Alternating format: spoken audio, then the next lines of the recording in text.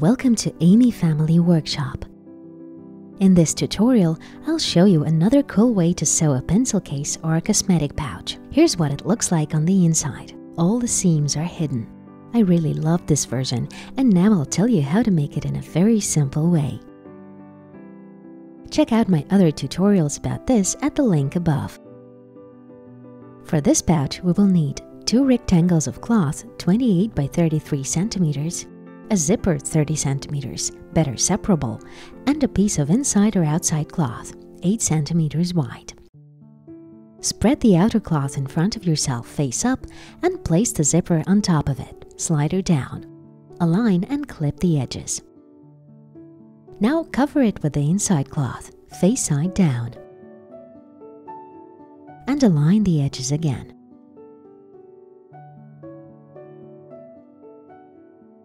Make a seam along the zipper blade right here. For sewing, better use a zipper foot. That makes the job much easier.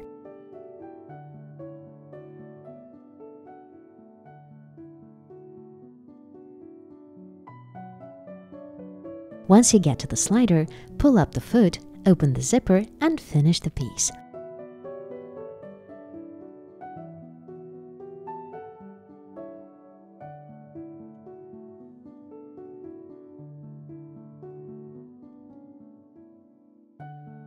Here's what we've got for now.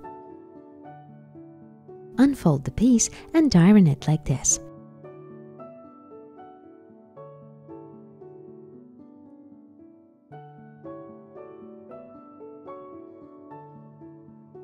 Now let's make a seam here to fix the cloth in place regarding the zipper.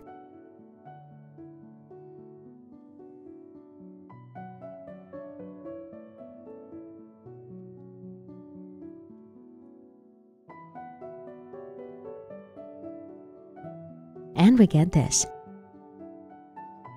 Now lift the bottom edge of the outer cloth up like that. Align it with the zipper edge.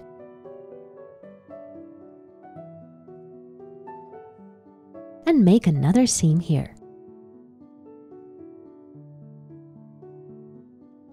Once you're on the slider, pull up the foot, open the zipper and finish.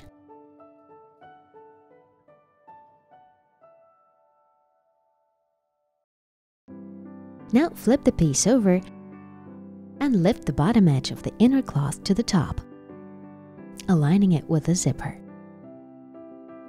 This time we're not making a full seam, but leaving a gap to turn it out later. Mark it with needles to make sure you remember.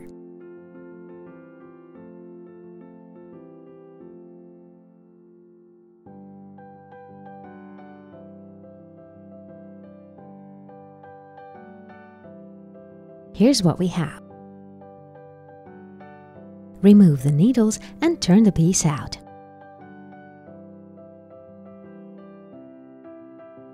Here's our gap. Now we'll make a tack along the zipper. Here it really comes in handy that our zipper is separable. Iron the cloth along the zipper on both sides, same as we've done before.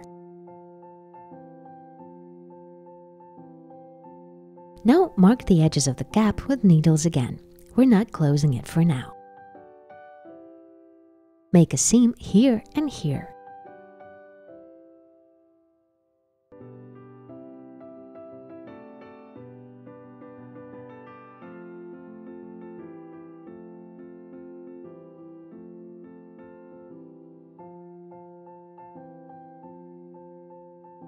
Now place the piece like this and open the zipper halfway.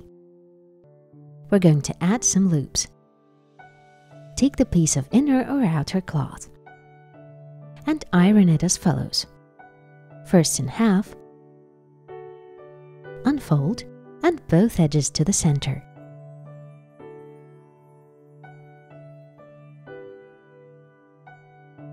And now in half again. Try to align the edges as best as you can and iron well once again. Make seams on both sides.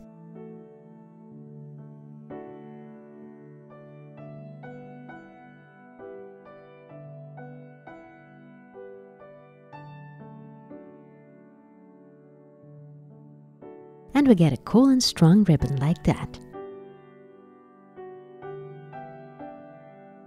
Cut out the pieces of the size you want. Fold them in half.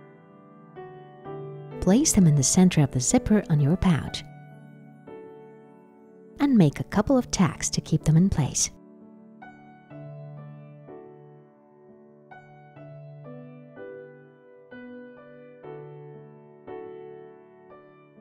And the same on the other side.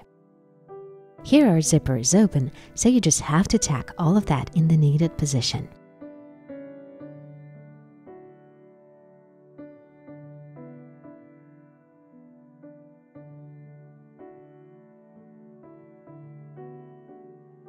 Done! Next step. Make sure the zipper is open and turn the piece inside out, like this.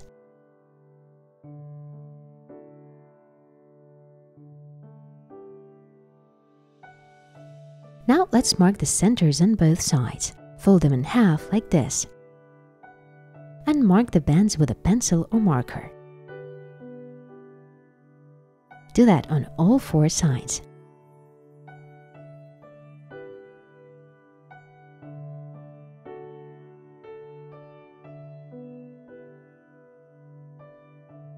Now fold the piece aligning the center you've just marked with the center of the zipper blade.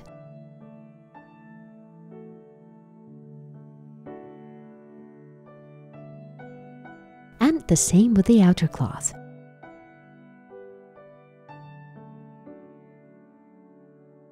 Iron well.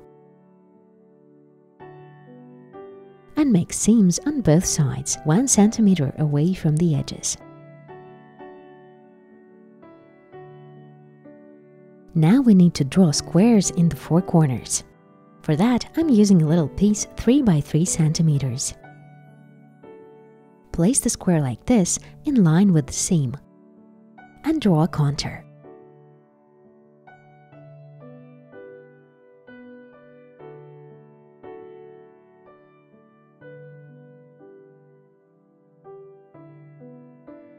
Now grab your scissors and boldly cut all the corners off along the marked lines. And it's also time for the excessive parts of the zipper to go the final stroke. Now we need to sew all the four corners, folded as follows.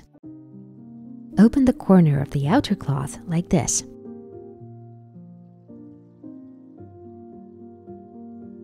Fix it with a needle. And the same for the inner part.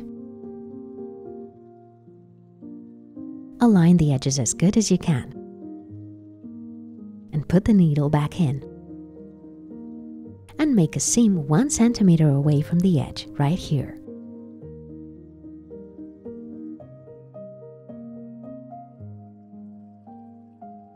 Just in case, watch once again.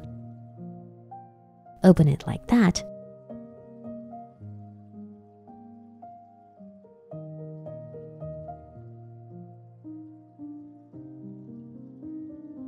Align the open corners of the inner and outer cloth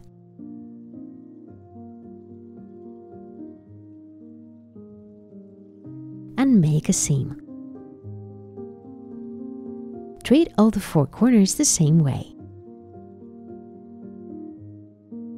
It's time to turn our piece out. Find the gap that you've left specially for this moment and turn it out.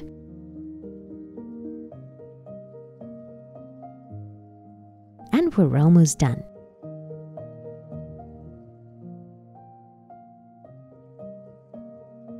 We're just left to close this gap. Make a seam here along the zipper.